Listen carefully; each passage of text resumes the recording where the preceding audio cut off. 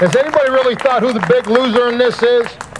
You know, there is a billion dollar industry in anti-worker and the union busting. I hope there's no attorneys here because, man, y'all are terrible. I mean, that's the biggest loser here other than the workers. If you think about it, if companies put the money back into the workers or back into resources for their business instead of putting the money in the pockets of a lobbyist or an anti-union busting firm, they could help themselves and help the workers and make a better working situation, a productive workforce. But they choose to want to dominate and intimidate their workers.